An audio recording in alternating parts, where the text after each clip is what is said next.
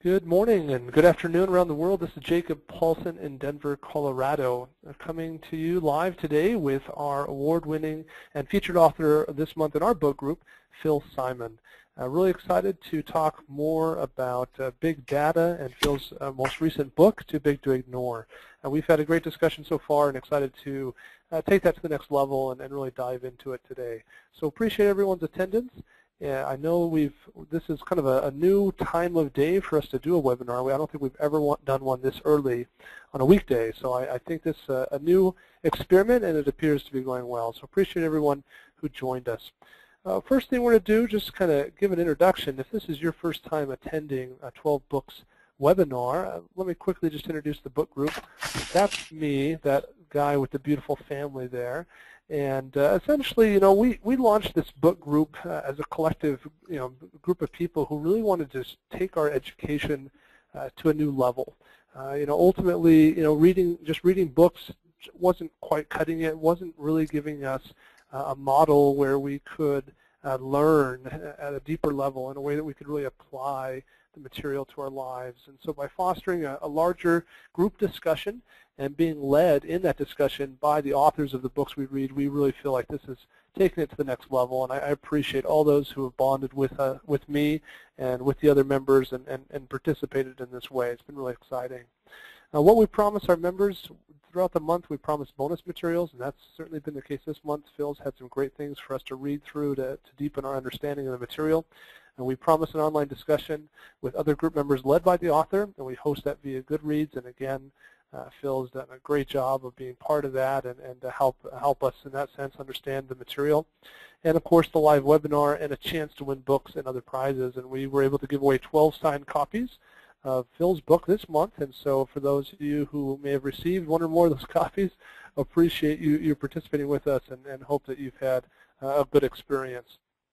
Quickly, kind of give you an idea of what's coming up. This month, August, of course, we're reading Too Big to Ignore. In September next month, we're going to be reading Getting Ahead by Joel Garfinkel, one of the top 50 executive coaches in America. A really phenomenal book about you know how to take your career to the next level.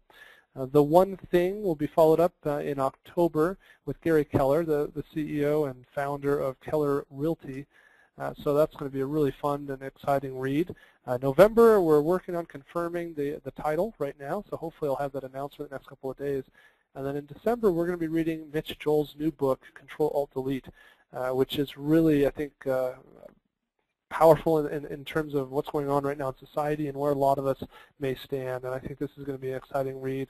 And then in January, we'll be with Carl Richards to read more about the behavior gap, uh, simple ways to stop doing dumb things with money. And that sounds pretty intriguing to me. Certainly know I could use the help. So that's kind of what's coming up right now. Very exciting uh, in, in terms of our lineup. If you haven't already plugged into the group discussion on Goodreads, I'd encourage you to do so. Uh, you can get there by going to the bit.ly slash 12books group. You can go to Goodreads and just search for 12 books, or you can go to 12booksgroup.com slash Goodreads. In one way or another, find it, log in, uh, and join the group there so you can be part of the ongoing discussion and, and uh, connect with the other members of the group. That's really where a lot of the value lies. With that then, it's, it's now my opportunity to introduce Phil Simon. Now, I was referred to Phil by another author who had participated in our book group in the past. And when we connected, you know, the, the first thing that uh, I think I was most taken by, Phil, was your, your just immediate willingness to do whatever it took to support our group. And I think, uh, you know, we appreciate that you understood our vision and that you wanted to be a part of it and to help us in any way you could. And, uh, you know, that, that was really, really appreciated. And, and I was really excited as well uh, just with how quick you were to move and to help and, and to be in place. Uh, I know that we, we kind of connected late in the year uh, for an August, uh, an August read, and I really appreciate you moving so quickly. And, and for those who don't already know much about you, I put your bio up here on the screen, but just thanks again for being part of this and being so willing to support what we do. Well, thank you, Jacob. It's really been a pleasure to get to know you over the last couple months, and I appreciate what you're trying to do with Goodreads and raise the level of discourse and, and move away from 140 characters and, and, actually talk about a book. Yeah, that, that, I, I think that uh, that's, a, that's a pretty good summary of really our vision of what we're trying to do. With that, uh, Phil, what I'd like to do is I know that a lot of people who join us on these calls, sometimes they, they're too busy during the course of a month to pick up the book and read it, or perhaps uh, you know, they haven't had a chance to finish the book yet. So if you don't mind, take you know five to ten minutes and just kind of give us uh, some of the you know the key points, the, the the takeaways from the book, what you know, why you wrote it, what what could be learned from reading the book, and, and maybe you know what some of those key takeaways are. Sure, thanks, Jacob. I'll take about five to ten minutes and talk a little bit about the book at a high level. Hopefully, touch upon some key themes and then most of this, I hope, will, will not be myself talking, but rather having a conversation with other people. Hopefully it's a dialogue, not a monologue. In 2011, I was working on my fourth book, The Age of the Platform, how Amazon, Apple, Facebook, and Google have redefined business. And so much came out of that book. One of the things that I noticed in, in looking at those companies, as well as other ones like Twitter and Netflix, is the extent to which they generated an enormous amount of data. And as someone who enjoys writing and looking at sort of the next big thing, it was obvious to me that big data was in fact a big deal. It was becoming, as I write in the book, too big to ignore. The hype cycle around anything these days is typically remarkable. I'm old enough to remember the days in which you would read the newspaper and find out what was going on or, or watch the news. Well, now when you pick up a newspaper or watch the news, you already know what happened because of social media, we have just seen an absolute proliferation in voices around big data, and I'll admit it, I'm one of them. So there seemed to be a great deal of confusion about this very important term. As I know from my career as a consultant, many organizations are loath to jump on the train for something if they don't know where it's going to go. Uh, for that very reason, there was this opportunity, I thought, to write a book that explained in, in hopefully plain English and avoiding jargon really what big data was and why it mattered and throw in a few examples. I'm proud of the fact that the book has been generally well received. And while I don't think I'll be retiring anytime soon, I'm actually at work on another book right now. Um, it has led me to some interesting places, and I've enjoyed writing it. So just to kind of cover the book at a very high level right now, I want to talk a little bit about big data, the definition, the anti-definition, uh, why it matters, and then some examples. Um, there is no shortage of definitions around the term big data. I saw a blog post a couple weeks ago with 37 sort of sanctioned definitions. And early on in the book, I decided that finding the proper or the correct definition wasn't really possible, and, and more important, really wasn't necessary. Different software vendors, different thought leaders like myself have vested interest in having their definitions win. So I did my research and found out about how the term big data evolved in the early part of the book. I discussed mobility, the cloud, the drop in storage costs with something called Kryder's Law, the fact that we're constantly through social media generating and consuming data, and all the things that went into it. And to me, big data really doesn't have a proper definition, but there's certainly characteristics of big data that I think warrants some discussion here. Uh, first up, big data tends not to be structured. Most of the listeners, I would imagine, at some point have looked at an Excel spreadsheet or a table in a database. And some of those tables are, in fact, quite big. I myself have worked with records of 40 million in looking at certain employee issues with swiping time cards. But that's still not really big data because it's structured, it's orderly, it fits into a database. You can use traditional tools like SQL to query them. Uh, with big data, we're really talking about semi-structured and unstructured. In fact, most of the data generated today, around 85%, is on the unstructured variety. By that I mean it doesn't fall nicely into spreadsheets. You don't put uh, a spreadsheet uh, or create a spreadsheet with all sorts of photos, right, or YouTube videos or blog posts or, or email. With, an email is actually sort of semi-structured data. So first up, I think it's important to describe that aspect of big data. It is inherently unstructured. Uh, next up, it's really big. Uh, they've actually had to invent terms to describe the amount of data out there. Uh, it used to be, again, I'm old enough to remember that a gigabyte was, was really big. Well, now I think the smallest hard drive you can buy on eBay is maybe a terabyte. And then there are things like petabytes and exabytes and yottabytes. And it's basically a one with a whole lot of zeros at the end. In fact, they've um, had to invent this new term brontobyte, which I think is a one with 30 zeros at the end. And we're increasingly generating a tremendous amount of data. Now, if I thought that that was temporary, I may not have written the book. In fact, the amount of data being generated is actually starting to increase even more. I've heard that it's basically doubling every year. Um, I, there's a statistic in a similar book on big data by Rick Smolan called The Human Face of Big Data. And the stat that really resonated with me was that the average person these days is in an industrialized country is exposed to more data than a person was in the 15th century during his or her entire lifetime. So there's this absolute deluge of information that's just streaming there. Now, why does big data matter? Uh, in short, because there's actually a great deal of signal within that noise. The trick is finding it. Uh, Nate Silver's book, The Signal and the Noise, gets into why some of these predictions fail. And in short, we are ignoring in many cases data that does have some value, but how do you find the one tweet out of a million or the one YouTube video? And to that end, the companies that I discuss in the book have really embraced these new tools. Uh, this really isn't a technical book. For those of you who have read it, you'll notice that chapter four is the closest thing to a techie chapter. But if you're not a true techie, I put in the disclaimer that, make a long story short, the old boss, uh, I'm sorry, the new boss isn't the same as the old boss, to paraphrase the Who. So tools like Hadoop and NoSQL and NewSQL allow organizations to handle these vast quantities of information. And in the book, I discuss a number of case studies from small companies like Quantcast that serve up advertising metrics to healthcare facilities like the one based out of the Cleveland Clinic, Explorys, even to large organizations like NASA just because an organization has an $18 billion a year budget doesn't mean that it should do everything uh, internally. In fact, in the book, I talk about ways to get a little bit pregnant with big data. Tools like a Topcoder or Kaggle let you dip your toe in the water without spending millions of dollars on pricey consultants.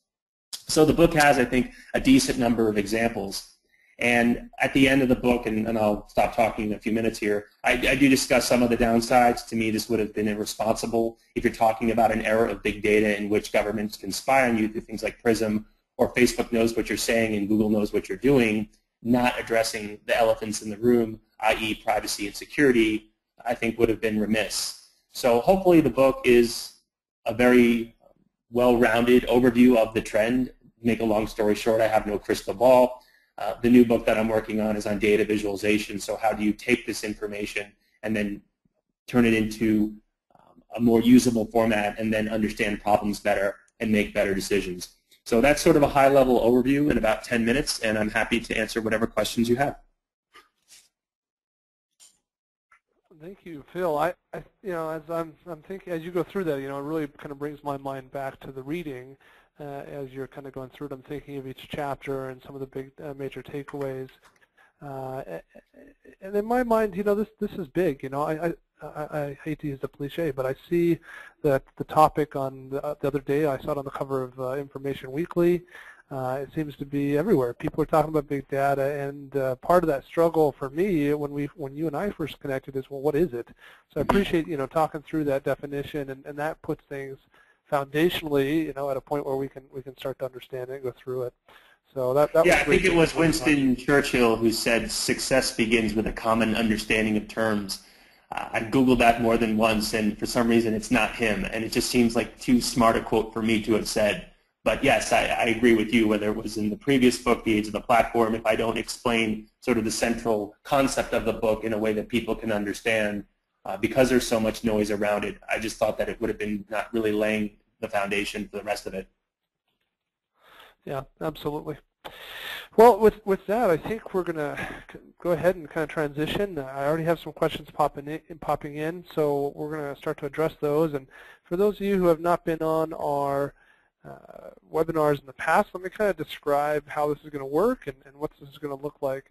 So essentially, you know, as we, for the live question answer, I will be posing most of the questions uh, to Phil. A couple of people have already emailed me with questions. They're not going to be able to attend and so they've had some of these questions they, and they've sent them to me.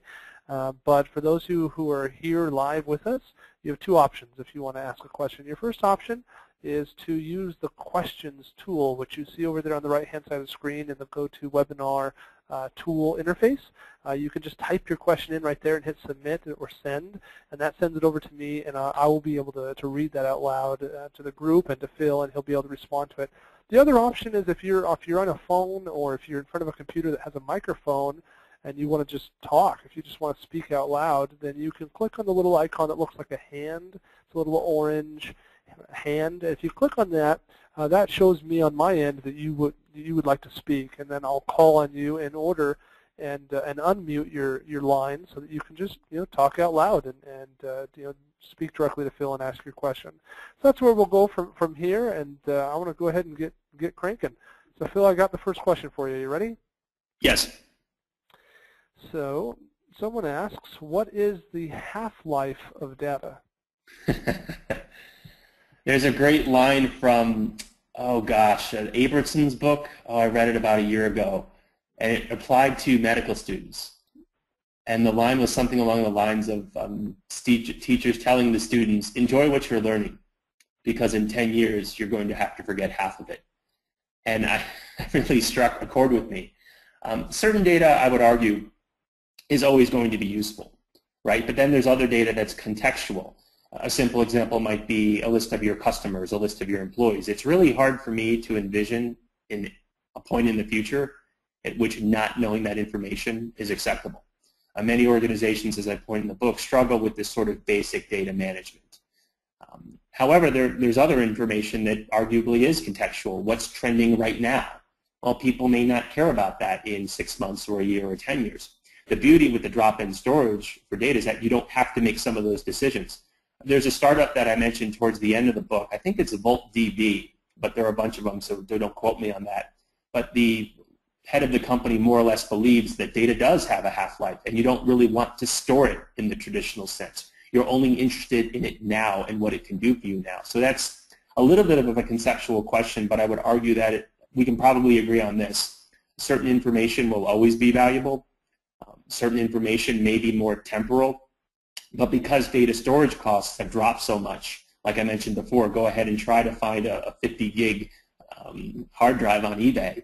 Um, it's become basically a commodity. Sites like Amazon Web Services or, or Microsoft Azure or Rackspace allow you to access tremendous compute power and data storage. So I think it's a valid question, but you don't necessarily have to make the decision on what you need to store if you start embracing some of these new tools.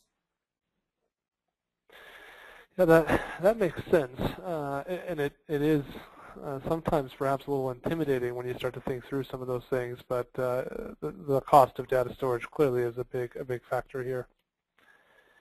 Here's a good question: uh, Can you have small amounts of big data and expect your company to grow, or do you always need big amounts of big data in order to grow? I'd say that it's more the first one. Um, I certainly think that it helps to have more information, but one of the myths that I debunk in the book and in one of the posts, Jacob, that you put on the site on the 11 myths of big data, is that you don't need it all. Certainly if you're looking at trends, you're a company like Netflix, another really impressive big data company. Um, you might have enough from just a small sample, right? I'm not a statistician, but I remember taking the course in school. You can make certain inferences based on a subsample of data right? You can be 95% confident with a sample of 10,000 or something. You don't necessarily need a sample of a million or 10 million. And this gets into something that Nate Silver talks about in his book. There is this difference between doing samples and grabbing all of the data. Uh, there is, a, I would argue, a diminishing return on, on grabbing all of the data. But as a general rule, I would rather have more data than less. You, yes, you absolutely can have small amounts of big data. If you wanted to download, you know, 10,000 photos or 10,000 videos or look at uh, a relatively small number of records, then you still can draw conclusions from that. But all else equal, I'm a big believer that it's better to have it and not need it than to need it and not have it. The problem, I think, with restricting your sample size is that you may be oblivious to emerging trends because things can happen so quickly, I think it's um, in the, the previous book I talk about the futility of planning. There, there's a quote from Jerry Brown, everyone likes to plan because no one has to do anything. I just think that we are moving strongly away from this sort of set it and forget it mentality. Things can break very quickly. We've all heard of things trending on Twitter or flash sales. Um, it's very difficult to, I think, sit back and say, well, it's going to be this way for the next two to three years. So you can have small amounts of big data and you can do some interesting things with it. Uh, there are diminishing returns, but again, if you can store this information and it's not terribly expensive and there's a benefit to doing it, I would argue really what's what's the downside? Sure. Yeah, it's it's more of a why not than a why in many ways. Yeah, I like that. Uh, here's here's a question that I'm particularly uh, fond of? I'm, I'm interested in the answer. And uh, the essential question is, is there pending legislation, national or international, that could affect big data? Oh, that's a big question. The short answer is that within the U.S., I don't know if anything is targeting big data per se, but if you look at privacy regulations in the U.S. compared to, say, Europe, they're very different. Uh, here in the U.S., we have more of what they call a sectoral approach. For instance, for healthcare or financial services, we have, as a society, made the decision that those industries can not regulate themselves, but we don't necessarily have this global, all-encompassing policy. In Europe, it's very different. Europe tends to take privacy much more seriously than we do here. That doesn't mean that it's perfect or that breaches don't happen, but I, again, without being that attuned to what's going on in Washington, would be shocked if, if given things like PRISM or like some of the breaches with uh, uh, Zappos or hacks for Facebook. I mean, look at yesterday, right? The New York Times site went down from the, the Syrian um, hacking group or something like that. So I would have, you know, I don't know of any specifically in the United States. I'm not that politically attuned, but I would eat my hat if there wasn't some resolution right now in one of the houses surrounding what to do about big data. It's not the first time, nor will it be the last, that technology has advanced far faster than our institutions. I mean, as I told some of my friends sometimes, I have no desire to be a lawyer, but if I did, I think that social media is absolutely fascinating. Where does your right, where do your rights as a citizen start and your rights as an employee begin? In other words, if you go out and have some fun and you're wearing a company t-shirt at a ball game and you get drunk and someone takes a video of you and posts it on Vine or on YouTube and your boss finds out and fires you, did you have an expectation of privacy? So I don't have the answers to those questions. I'm not trying to reflect, um, deflect it. My only point is that, uh, how do I put this politely? Uh, politicians maybe aren't, as a general group, the most technologically savvy of all people, and this stuff is changing so quickly that um, there's a reason, right, that a lot of the Washington is reaching out to people like Larry Page and Mark Zuckerberg and Sheryl Sandberg. They're closer to technology. Honestly, the politicians need help in understanding what's going on. So I'm sure there are laws. Whether or not they're the right laws, I, I, I can't imagine getting into that. We'd have to do that over beer sometime. Sounds good. Uh, Jay has asked, uh, how long does it take to see the business benefit from a big data project, and how much does it typically cost at the low end?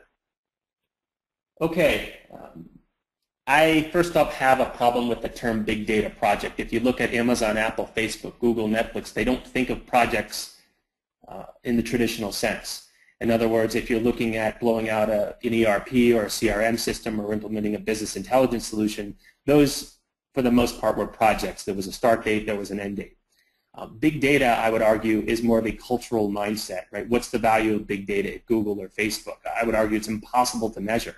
Facebook just cra uh, crossed $100 billion in market valuation. If you take away data, I'd be shocked if Facebook was worth even a tenth of that. So in terms of how long it takes to recognize value from big data project, there's really no answer. The short answer is it depends. Um, I think it was um, uh, Peter Drucker who said that culture eats strategy for lunch. So I would argue that the odds of a big data endeavor or project or whatever you want to call it succeeding at Amazon, Apple, Facebook, Google, and Netflix are considerably higher than a traditional mid-sized hospital with all the regulations and cultural baggage. And, and I say that not to slam hospitals. I've worked in and out of hospitals for around 10 years as a consultant, but it's just a different culture. Um, so I specifically avoided in the book the ROI question. I think that it's very pernicious to say, well, we're not going to do this unless our ROI is going to be 14%. How do you know? right? Uh, in the book, I write about how, the importance of really crawling before you can walk. Some organizations have better internal data management practices, and as such, I would argue they would realize the benefits a lot quicker than companies that are quite frankly dysfunctional.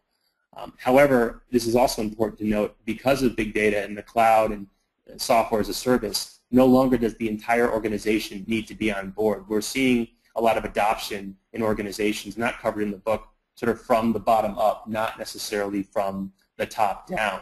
You don't need the imprimatur of a chief executive to get started. In pockets of the organization, you might, you might get going while corporate figures things out. So I hate to give the stock consulting answer, but it really does depend. Yeah, no, that's fair. Uh, you know, you bring up. I love the you know the, the, the point you made about culture, and I think that's that's kind of probably the biggest takeaway. Uh, another question is outside of the HR component, how can something like an engineering firm use big data to grow? Maybe I could get a little bit more information about the engineering firm because is it a you know when I think of engineers, I think of computer engineers, I think of mechanical and electrical engineers.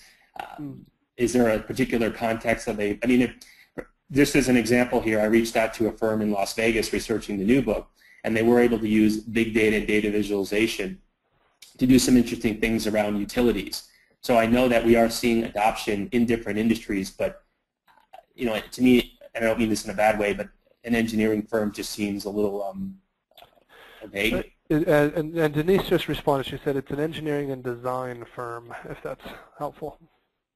Okay, I mean, I guess, is there a particular design project? I mean, look, if you look at what Marissa Mayer does over at Yahoo when she, since she's taken over, and she's really irritated quite a few people, but I understand why she's doing. There was a great unofficial or unauthorized biography online on Marissa Mayer that I read this week, and it's really long. I think it's about 10, 12,000 words.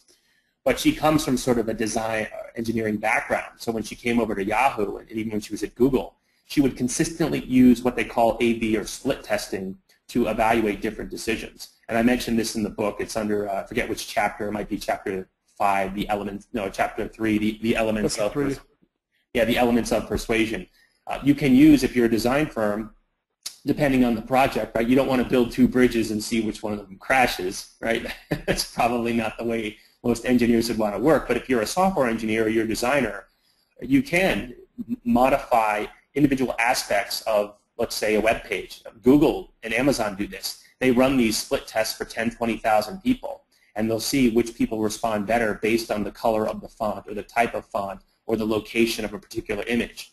If you look at the history of Google's homepage, it's remained relatively Spartan over the last 15 years, but there absolutely have been some changes. It does look a little dated if you go back to 2000 or 1998. So design firms can, I would argue, use A-B testing with regard to Marissa Mayer, she's, as I said, ticked some people off because plenty of designers sort of subscribe to this Steve Jobs notion of the purity of the art and the design and the mission. And Steve Jobs never used um, focus groups, right? Um, Isaacson makes that point in, in his biography of, of, Steve Jobs, which, which I highly recommend. It's, it's really a good book. Um, Marissa Mayer comes at it from a very different perspective. She wants to test the hell out of everything and that really irritates certain people. So I'm not saying it's good or bad, but you can, I think, test different components. In the book, I talk about Eric Ries from the Lean Startup and how he A-B tested the title and cover of his book. Now, I actually wanted to do that uh, for this one, but my publisher wasn't keen on it, and I try not to make enemies of the people who are publishing my book. So um, to me, the question is, how can you use it, not why can't you? That's, I think that's fair. Uh, uh, you know, and along those lines, another question that came in that's, that's similar. So maybe we should we should bring this up to the to the top right now. And someone asked, have you run into any industries that, generally speaking, are performing really well or very poorly as it relates to the use of big data? Yes, and yes. Uh, with regard to doing it well, if you look at the tech sector, for lack of a better term, I, I really do think they're leading the pack. No, not every company is Amazon, Apple, Facebook, or Google, but those companies, and I'm probably a little biased because I wrote an entire book on the Gang of Four, uh, The Age of the Platform, but as I said, that book sort of led into this one. Uh, it's just astonishing. As in the book, I, I, make reference to an Eric Schmidt quote, quote. At the time, he was the CEO of Google. Now he's the chairman of the board. He said, basically, we know where you are. We know what you're doing. We know what you're thinking. Um, it's, uh, that's a hell of a comment, and I'm sure that he actually regretted saying it. But again, Google in the tech sector in general, I think generally speaking is doing a better job.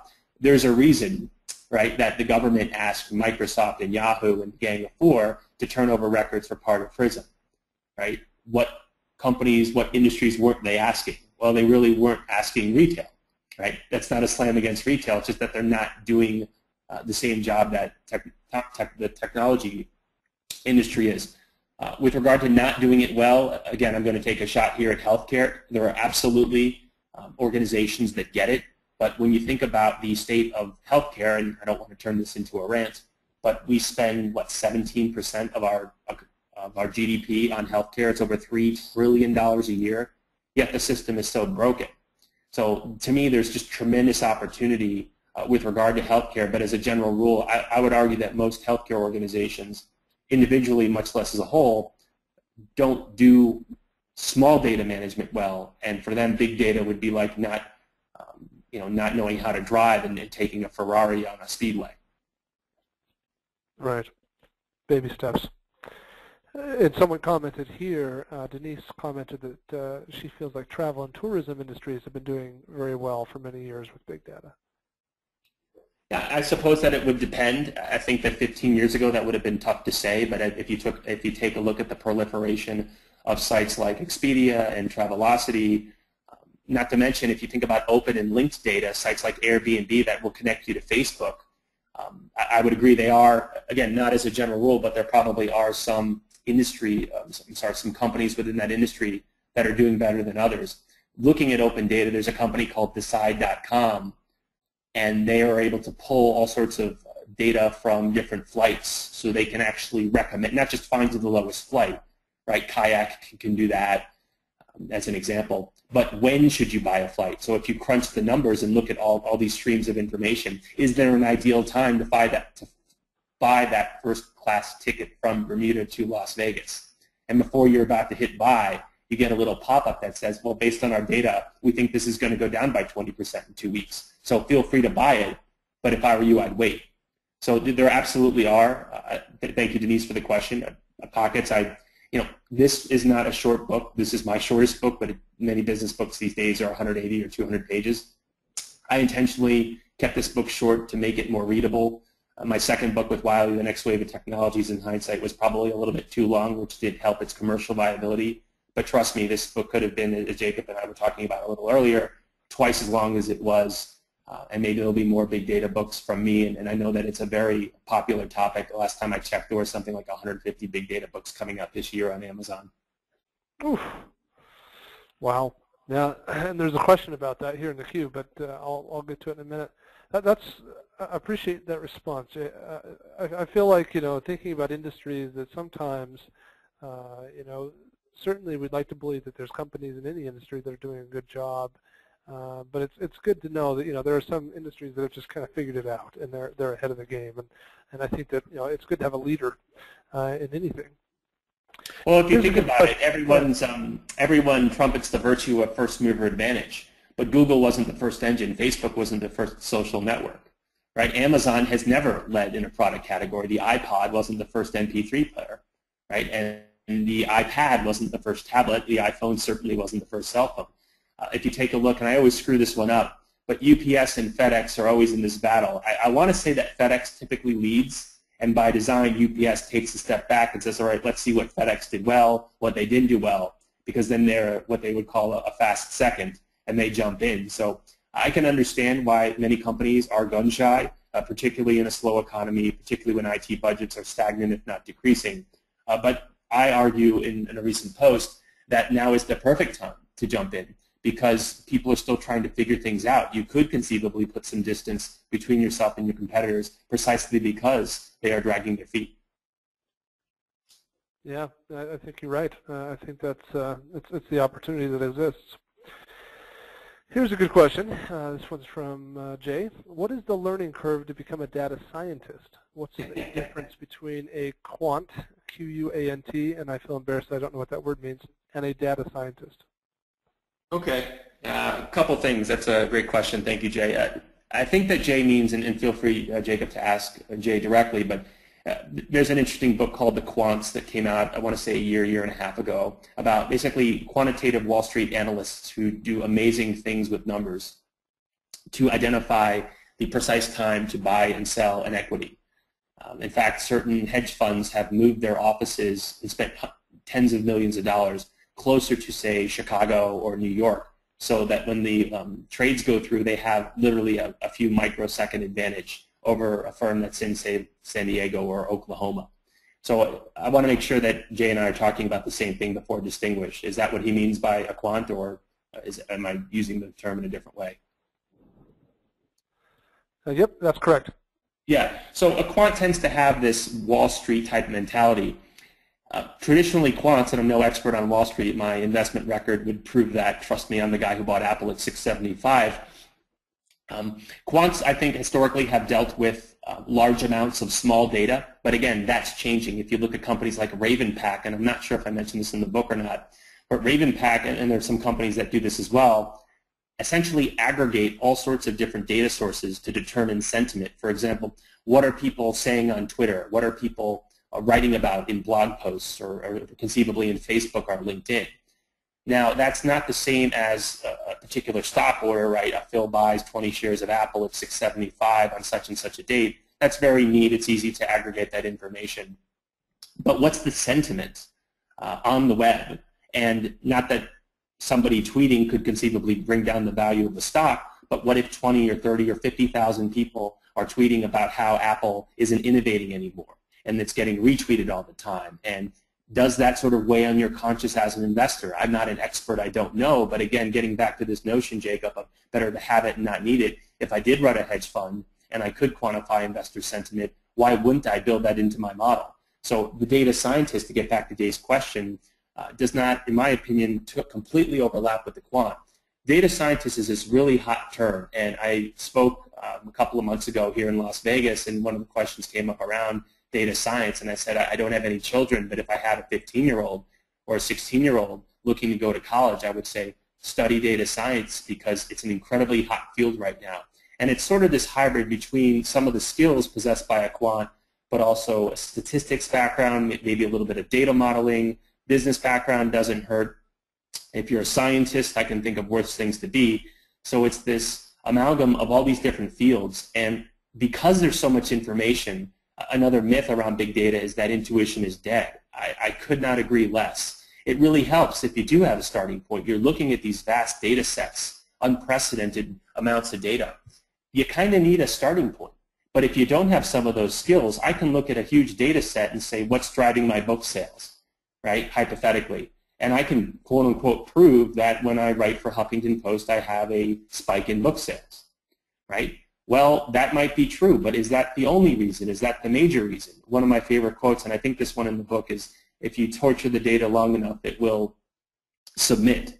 So knowing which questions to ask, how to sort of manage this, I think is going to become increasingly important. So data science, I think, to me, doesn't necessarily have the connotation of a Wall Street analyst, and they, I'm not saying you couldn't take a quant and put him or her in a data scientist role and that person would be lost.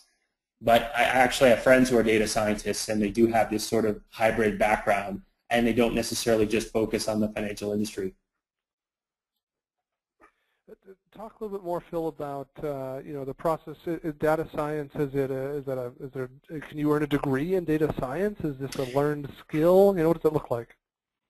Three years ago, if you'd said, what's data science, someone would have said, I don't understand, much like big data. I only heard the term, I, don't know, 18 months ago, 19 months ago.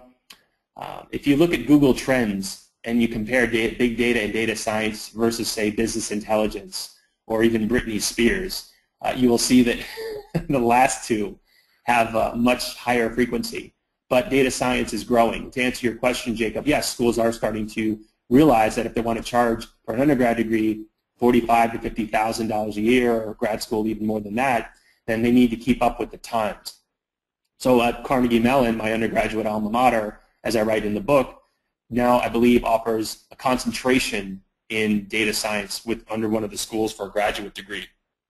Uh, MIT, I believe, does the same thing. So I'd be shocked if very technical schools like MIT and Caltech don't realize that if they want their students to get high-paying jobs, offering a concentration or formal degree in data science wouldn't be the worst thing they can do. And more to the point, if they're looking to attract top talent, these are some really smart people, and if they start companies, they may donate into the endowment.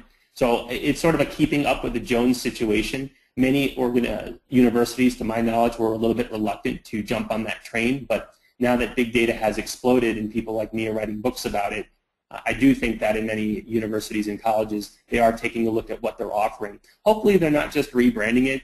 Um, some people think that data science is just another term for statistician or analyst, and You know, to me, if, if it looks like a duck and walks like a duck, it's a duck.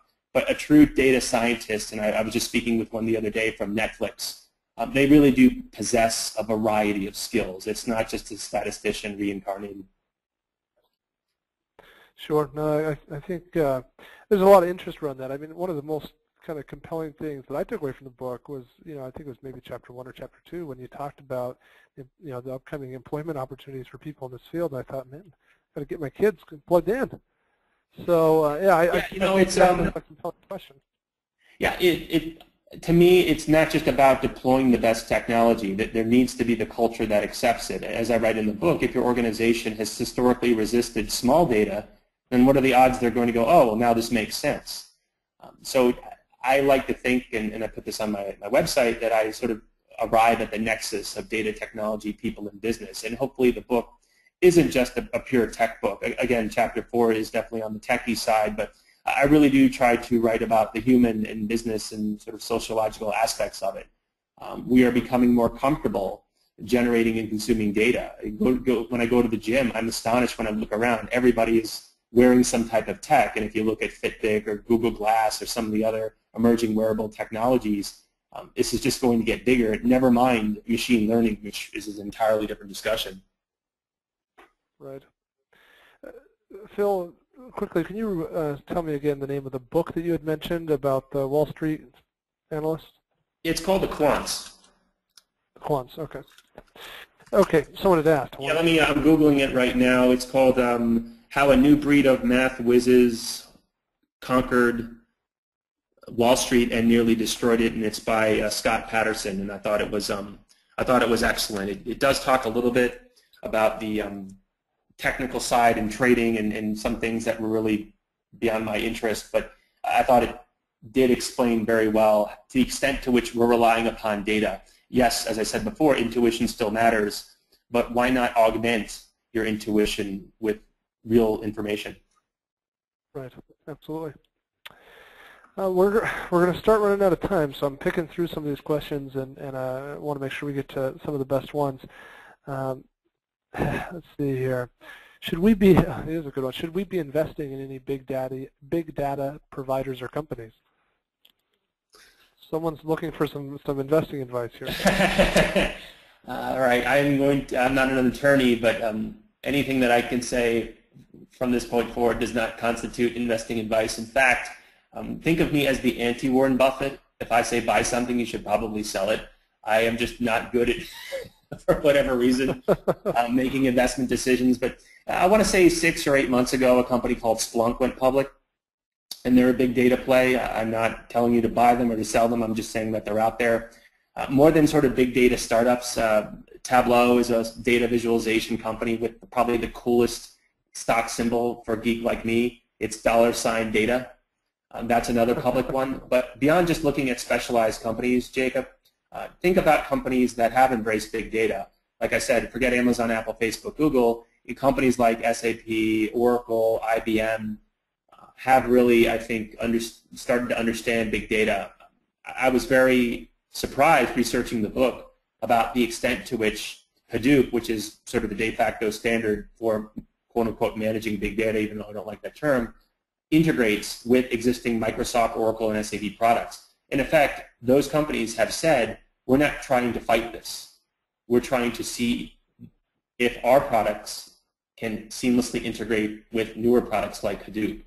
Uh, but I would be shocked if in the next three to five years we don't see a decent number of big data startups. Uh, unfortunately, Facebook sort of poisoned the well, even though it's rebounded and now it's over its initial um, opening price from last May.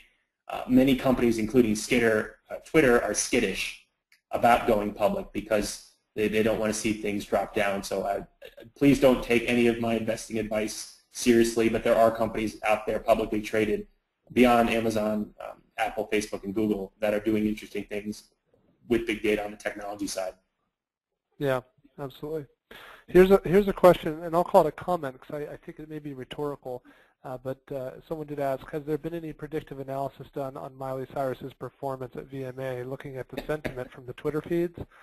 So I, I, I, think we, we can just kind of laugh and move on. But uh, you know, the, there's uh, some some always a wave, right? There's always right. Well, I, I can't imagine the business value in that. But here's the point: if you asked that question 15 years ago, forget the fact that there wasn't Twitter. There was really no way to do that. Uh, now, because of blogs and social media sites and mobility and all the things that we talk uh, talk about in the book, if, if you, I guess here's the point: if you want to do something like that, you can. Which to me really does, I think, stress the need for I'll, I'll put in a shameless plug for, for books like mine or for data scientists or for thought leaders or for going to conferences and listening to people and finding out about the way that they, they've done things. I really don't believe that there's a checklist for getting a great deal out of big data. I am very proud of the fact that in this book I, I don't lay out a 10-point plan and say if you follow these 10 steps you'll be the next Google. Uh, one of my favorite business books is called The Halo Effect by Phil Horzenstein. I always screw up his last name. But to make a long story short, um, it's very dangerous to look retroactively and say, oh, well, if we do these five things, then we'll be successful. Jim Collins, who wrote Good to Great, had to essentially repudiate his theory and write that book, Why the Mighty Fall. So I'm telling you as a probabilistic thinker that if you follow the advice in the book, all else equal, you should see some results. But by no means is it any sort of recipe or checklist. I, big, big data doesn't guarantee success uh, even if you listen to hopefully people who know what they're talking about like I do. Yeah, that's fair. I, I think uh, you know at a certain level, you know, business is part part of taking risks, right? And then uh, you know, big data could be viewed that way, but certainly uh, I don't think it's it's hopeless. It's more of an ROI thing, which uh, Jay actually asked a, a follow-up question to what we were talking about earlier. Uh, there's always a there's always a conflict between labor and capital. Do you think we're going to have a similar conflict between data and profits? I didn't think I'd be talking about Karl Marx, but let's uh, let's let's bring it. I, I do. In fact, I, I, talk about that in chapter seven. It's certainly to me not as big of a deal as privacy or security, but there are plenty of people, and, and I read about some in the book. Of course, I anonymized them that quite frankly do feel threatened about by big data. Right? I mean, it's always been the case. Melvin Kranzberg famously said technology is neither good nor bad, nor is it neutral. Technology, over the course of just since the internet, uh, has disintermediated people like bank tellers and travel agents, right? So there will be, I think, that conflict. What happens when a machine can suggest that you look into something? What happens when a 25-year-old who's skilled at Google Analytics can tell you exactly what's going on, more so than a 50-year-old VP who's looking at retirement, and that the VP costs three times as much for salary? What happens when tools supplant people? This isn't a, a Terminator-type book. But I, I, agree. But I would also argue that as a student of technology, this really isn't anything new. Um, yes, terms like exabytes and yottabytes are new. No one even heard of them two or three years ago, present company included. But this conflict between people and machines, I think, has been with us for a very long time. And I'm sure it'll be there after, you know, after we stop talking about big data and talk about the next shiny new thing. I really don't see that going anywhere. That's fair. Uh, Phil, uh, we're running out of time here. I'm going to ask, I think we have time for probably two more questions. Uh, so as a follow-up for people who have who have read the you know read the book and are excited about the topic, you know, what other books would you recommend about big data? I know you've already mentioned a couple, but I thought we'd just revisit sure. quickly. Okay. Um, the big book on big data by Rick Smolan and I forget the name of the other woman. Um, it's an amazing book. It's, it's very different. It's a coffee table book. It weighs about eight pounds. Uh, but I thought that it was really interesting because it has a ton of different examples, and it is. You know, my only complaint is that it's. I think there is a Kindle version, but it's really difficult to actually carry around. So uh, I wouldn't put it in your backpack; it may not fit. That was a good one. I haven't read the, the Big Data book by uh, Victor. I think it's Schoenstein, but I've heard good things. I think that's more about the sort of societal impact. Um, I worked very hard and very furiously with my publisher to get this book out as soon as possible because I knew that there was going to be a spate of big data books out there. And to me, this book does, I felt very strongly talking to my acquisitions editor about the title and the subtitle. I, I really do feel like this book, without getting into specific ROI calculations, does lay out the business case for big data. Um, I would be remiss if I didn't mention the Nate Silver book, The Signal and the Noise. That isn't about big data per se. It's about making predictions. It's in an ancillary way about big data, but I still think that it's a, an important book to read because it's fundamentally about information and what to do with it. Um, Super Crunchers by Ares. Ares, I forget the how you pronounce his name, but Super Crunchers I thought was really interesting. It gets into some of the different applications of these large data sets. So hopefully that will keep people busy. I, um, I do read a lot. I explain to people my theory of writing. I'm like a sponge. I read and read and watch and, and talk, and eventually I have enough in my head that I have to squeeze out a book. that sounds like a good strategy. Uh, I think we'll take this as our last question, Phil. Someone asked uh, about, you know, we talked earlier about, about culture, and as a follow-up, what kind of culture does an organization need to succeed with data? Flexible. What are the key components? Uh, flexibility, uh, tolerance for failure. When I think about certain organizations, and I go back to my consulting days, I can think of specific projects in which nothing ever went right. And we would craft this miracle recovery plan of these 46 steps that needed to take place. And let's say that each step had a 90% chance of being successful. Well, 0.9 to the 46th power is zero. The odds that all 46 things would go right are basically no. So what's the point of doing that, particularly in a culture that penalizes people for making mistakes? Um, so when I think about companies that have embraced failure, like Google, right, like, say, Facebook, they know that when they throw something out there, it isn't the final version, right? If you look at how Twitter's evolved, the first version of Twitter didn't ship with the retweet button. It didn't, there was no hashtag. Those all came from the community. So, excuse me, aside from a tolerance of failure, outward-looking companies that realize that there are smart people that actually don't work for them, I think all else equal will benefit. Companies that recognize that traditional databases and data marts and data warehouses may not be the right way to go. Those that look at application programming interfaces, APIs, those that are curious, those that ask questions, those with ambitious goals. Say what you want about Elon Musk. You can't say that the guy lacks ambition. So if you put all those things together, you can still quote unquote fail with big data.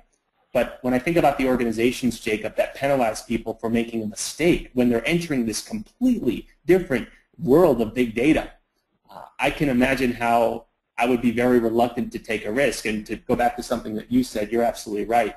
Um, big data is still risky. There's no guarantee that you're going to do it right. So I don't. No one likes to fail, but I guess they say fail quickly and fail um, forward, and then learn from them. I think I think that's a good summary in terms of you know an action an action point and what we need to do moving forward. Uh, I, I get I get kind of excited about uh, about big data. I'm a little bit geeky, uh, though not not nearly as educated in the industry as you are, Phil. And I just think that uh, you know, this is an opportunity uh, where where you know really exciting things can happen. Um, last year in our book group we read The Power of Habit, and there's a chapter there where the author talks about uh, you know the, the pregnancy prediction uh, data that Target. Uh, oh yeah, yeah, that's uh, that's you know, made famous for. Yeah, that's in chapter eight. It's it's a well. Uh, yeah, in your book as well. Yeah. Yeah, an oft-told so, story. Yeah, it's and so that that really kind of piqued my interest, and that's where it really got the ball rolling for me. And I, I know that many other uh, members of the group were very excited, and I just want to say thank you one more time for your support uh, here with us today, and, and, thanks to everyone who has uh, sent in questions, you know, live or or previously. If you're listening to this recording, I thought those were some really good questions, and, and Phil, I think your your responses were, were, were spot on and, and uh, exactly what we needed to hear. So thank you again. Thanks a lot, Josh, and to everyone, thank you for participating, and I'd appreciate appreciate any honest review on, on Goodreads and Amazon, uh, even if you don't like it. If it's, as long as it's honest, that's fine with me. Sounds good. With that, uh, then we'll we'll start to conclude for for today. I've pushed up on the screen for everybody uh, Phil's website, uh, Twitter and Facebook handles, and I would you know. Phil's, your website is absolutely fantastic. I would encourage people, if they haven't already, I know I sent out the link via email to the, the membership earlier this month. If you haven't already, go there, check it out. I love uh, how, it's, how easy it is to uh, navigate the blog based on the category and the topic that you're looking for. Uh, Phil's an expert in so many different areas. And so check out Phil's website, subscribe there if you haven't already so that you can stay plugged in. And, uh, and, and I'll echo, as Phil said, of course, that as you, as you come to the end of your reading, if you haven't already, uh, please you know, visit Amazon and Goodreads and share your, your honest and sincere review about the book uh, to help future readers. Uh, thank you, everyone. From Denver, Colorado, this is Jacob Paulson. Uh, good afternoon and good night.